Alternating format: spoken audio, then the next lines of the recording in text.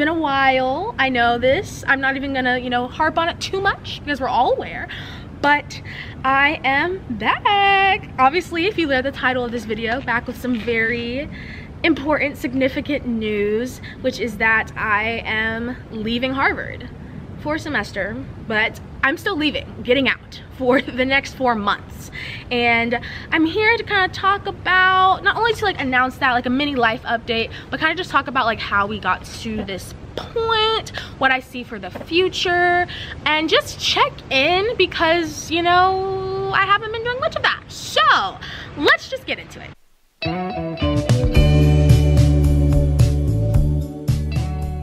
Filming this video has been a very like there's been just to even get to this spot of me sitting down talking to the camera has been much harder than it needed to be because I originally wanted to be like in this cute office space. I reserved a room found out I couldn't actually go in the room. I tried to go into different houses and there I couldn't get in. So I'm like okay we're just gonna go outside. The traffic like there's gonna be people going there's gonna be noises but I'm trying to project so that y'all can still hear me. It's been it's been a journey to get to this point and I'm sitting here in 90 something degree Boston heat because it's so important to me to connect with you. So getting into the whole thing, mini intro if you don't know who I am. My name's Kristian. I am now a rising junior at Harvard. I study theater, dance, and media and African American studies. And I am leaving Harvard for the fall semester to study abroad in Accra, Ghana.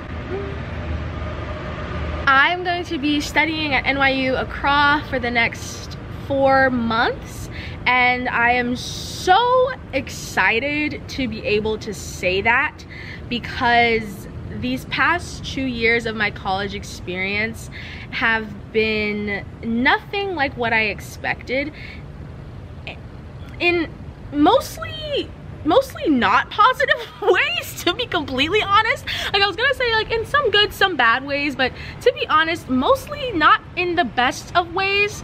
Oh my god my, my camera's about to die so i'm gonna go super fast. But I am excited for these next two because I think that the transformation and the things that I went through these past two years are preparing me to go into the future too. Something that I am kind of sad that I wasn't sad that I wasn't in the best mental space to truly be on YouTube the way that I had always hoped I would be in my college experience.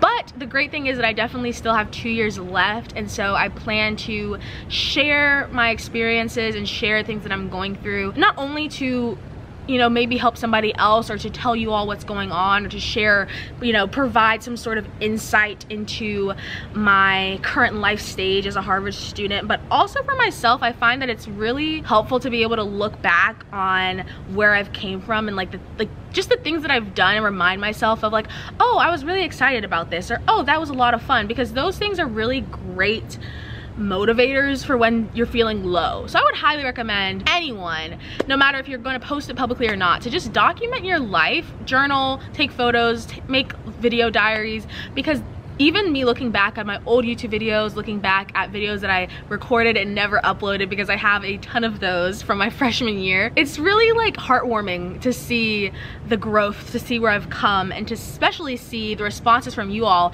from the videos that I have posted of how things have been helpful to you, how I've inspired you, even meeting, I've met some subscribers in real life over the past two years on campus, and that's been super crazy because I'm like, I haven't posted a video in five months, how do you even know who I am? And so all of that is something that's really, really special to me. I definitely don't take it for granted. And I think that now that I, you know, have taken the leap to you know take some agency take some control over my life and um, leave a space where I didn't quite feel my best to be completely honest I'm excited to document that and to showcase that because I think that that's something that you know pivoting when things aren't quite going the way that you thought they would be isn't something that's as like talked about, especially like in the Ivy League college space or college in general. Like I think college is positioned as, you know, the best four years of your life. But these past two years, you know, doing college in a pandemic hasn't been the best.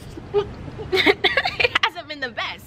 But there definitely have been beautiful moments, beautiful people, beautiful communities that I have sought out to create. I learned that through watching another former alum's YouTube video, it's like, is Harvard worth it? I'll tag it in the the description. Lord, I haven't been on here so long. I don't even remember the names and stuff. I'll put it in the description box. But I was watching that video my sophomore fall and hearing her tell me a lot of things that reflected my own experiences here not only made me more aware of like that I'm not alone, but also made me realize that like I still have two years and I I'm going to do everything in my power to prioritize myself, prioritize my peace, prioritize my happiness, and set myself up to have a much more fulfilling and whole, you know, time at this college and one of the ways that I'm doing that is by studying abroad and leaving because I need I just need a break I need a break. I need some time to go away,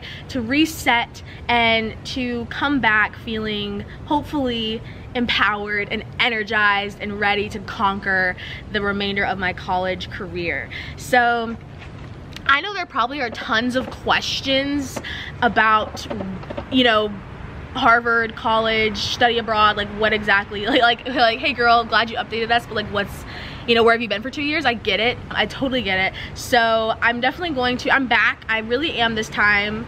Like, I promise I am going to be back. I'm going to just be talking and sharing what's going on, giving advice, giving not really advice, but more so like my experiences and things I would recommend, which I guess is advice, I don't know.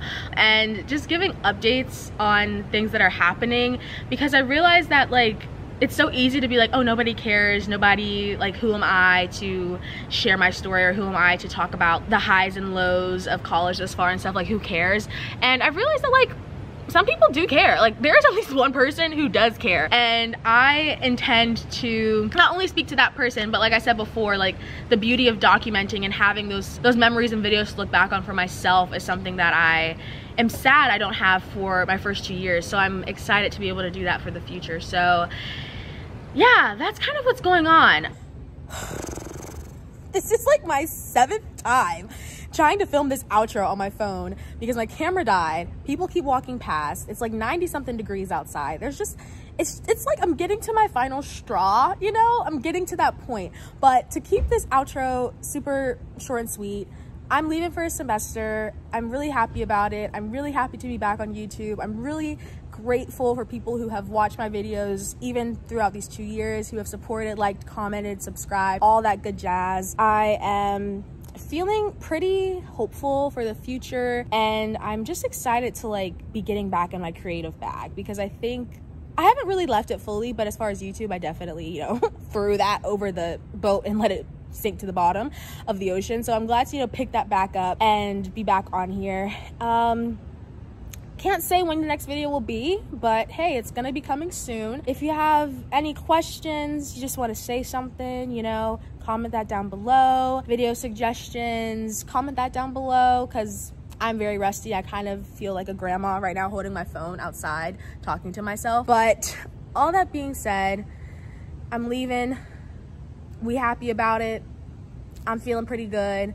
And I'll see y'all in the next one. 拜。